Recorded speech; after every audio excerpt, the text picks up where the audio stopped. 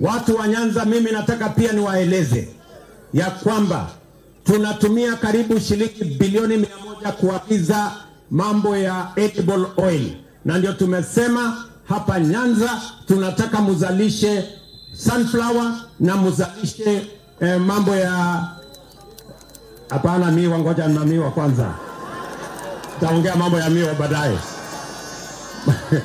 mambo ya sunflower na mambo ya soya, na tayari tumekubaliana na nyinyi ya kwamba this year we are importing 500 metric tons seeds for sunflower. And we are going to work with the counties of Migori, Homa Bay, Kisumu, Busia, Siaya tuhakikishe ya kwamba tunazalisha hiyo chaku, hiyo mambo ya mafuta.